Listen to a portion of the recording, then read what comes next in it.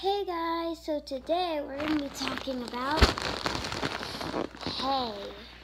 If you didn't know, hay is a long straw like thing that rabbits eat, and it's about 75 to 80% of their diet, so they need a lot of it.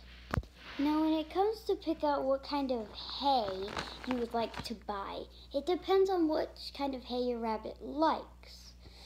So, Coco loves Timothy hay.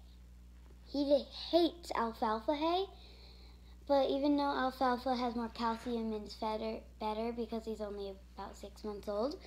So, so I kind of had to went out. I experimented a bunch of different types of hay until I found the one he loved. Before we start which kind of hay I use, he kind of, um, I want to say, do not buy one certain type of hay, which is the Kaytee Timothy hay.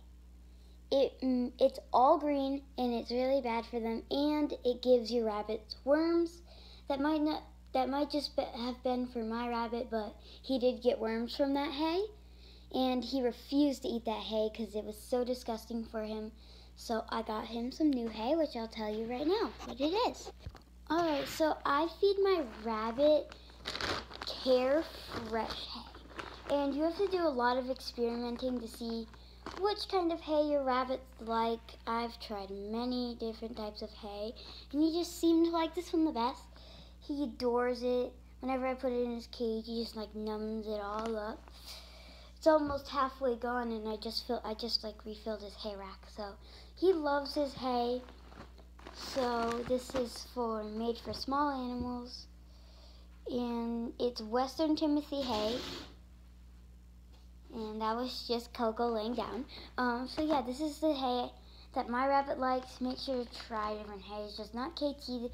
That could cause to worms, and he had worms recently because of um there we never cleaned out the full cage, so there was still some hay in there of the Kaytee, so that's probably where he got his worms from.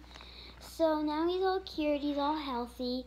So yeah, that's my hay interview. So I hope you enjoyed the video, so make sure to like, comment, and subscribe for more videos.